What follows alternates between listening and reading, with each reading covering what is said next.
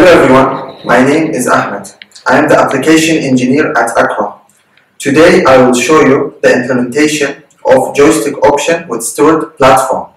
We can move the platform in six different axes which are X, Y, Z, roll, pitch and yaw axes. There is also a velocity command in the joystick which we, where we can control the speed of the platform. And finally, there is a reset button which will make the robot go back to its initial position. Now let me show you the movement of each axis. First, I will show you the movement of Z axis,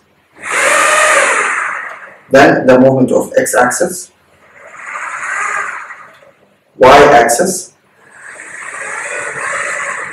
Now let me reset it to its initial position. Now uh, roll movement,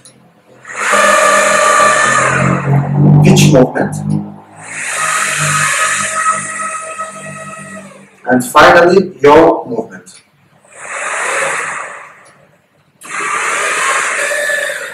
Now let me reset it to its initial position.